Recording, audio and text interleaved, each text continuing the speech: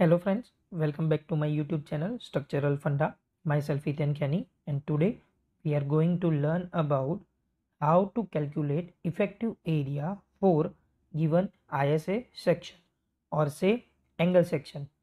Now angle section is generally used in strut analysis or strut design and according to the table number 2 page number 18 it indicates the limiting width to thickness ratio. It means that if an angle section is given to us then first we have to find that the limiting width of the given section to the limiting thickness of the section is according to the IS code or not. First of all what is the criteria given in the table number 2 for the angle section?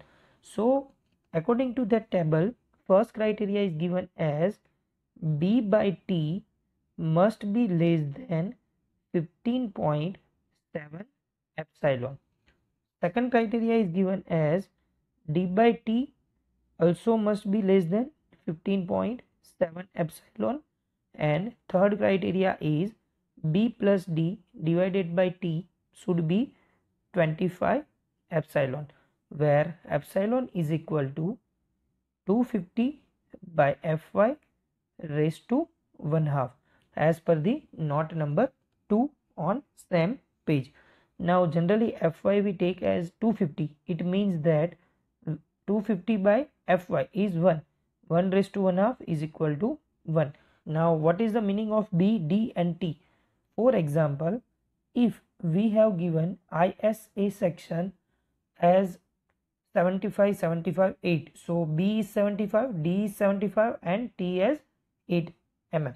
Now for example if the height of the section is b width of the section is d and thickness as t if we cut the two parts as a and b then the area of a part is b into t b into thickness and the area of b part is d minus t because d is the total width out of that t part is in the part A. So total width is d minus t into t. So if we calculate the total area it means that the gross area it is b cross t as a part A plus d minus t cross t. If we take t as a common part then the area equation is b plus d minus t into t. Now see this equation is approximate equation because in the actual ISA section the top bottom and the joint is a curve part. But it is assuming that this part is a square part or this part is a rectangle part. So whatever the area we got from this equation is approximate near to the actual area and the actual area is given in the steel table according to different different ISA. Now let us take one example so that we can understand the actual procedure of this check. So let us take one example as ISA 75 75 8 it is a equal angle section so according to the criteria first of all we have to calculate b by t now see B is 75 and D is also 75. So B by T or D by T both are equal. So 75 by 8 which is equal to 9.38. Now 9.38 is less than 15.7 epsilon. It means that it is okay. It shows that the limiting width to thickness ratio according to first two criteria is satisfied. Now next criteria is b plus d by t. Now b is 75, d is also 75 by 8. It means 150 by 8 and the value is 18.75 which is less than 25 epsilon. It means that it is okay. It means that effective area is equal to the gross area and according to 75 75 8 from steel table the gross area is 1138 mm square in terms of mm square.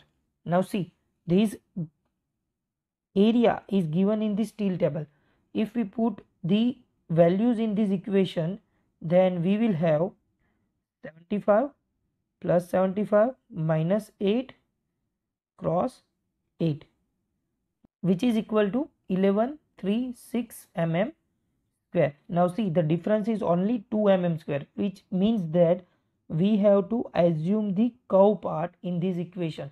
But it is very small part very negligible area. So we can use this equation as a ag if we have not the steel table.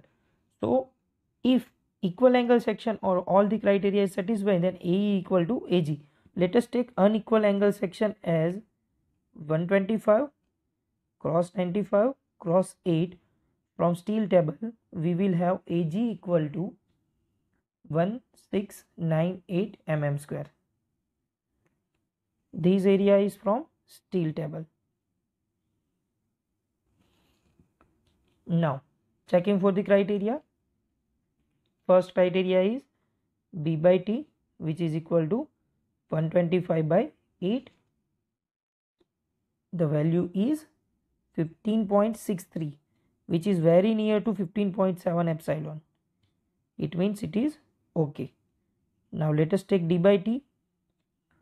It is equal to 95 by 8 and the value is 11.88 again less than 15.7 epsilon. It means it is okay. Now b plus d by t which is equal to 125 plus 95 by 8 the value is 27.5 which is greater than 25 epsilon it means that it is not okay this shows that the section ISA 125-95-8 is not satisfying the criteria according to the limiting width to thickness ratio. So we have to reduce the area. Now how it is assumed? So first criteria is satisfied, second criteria is satisfied, but third criteria is not satisfied. It means that we have to assume B plus D by T such a way that the value is less than the 25 epsilon. So here it is assumed that the B plus D by T is 23 times epsilon. We can take any value which is less than 25 it means 24 epsilon or 22 epsilon or 20 epsilon according to need. It means that b plus d which is equal to 23 epsilon into hence the value is 184 mm now we have the area equation as derived. So ag is equal to b plus d minus t into t. Now we know that according to the assumed criteria b plus d must be equal to 184. So let us put the value 184 minus thickness as a 8 into 8 the value is 1408 mm square.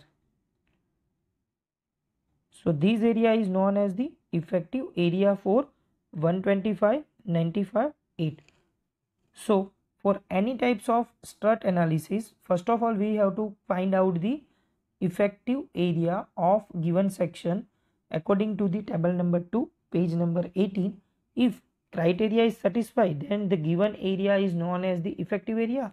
And if criteria is not satisfied then we have to assume b plus d divided by t which is less than 25 epsilon.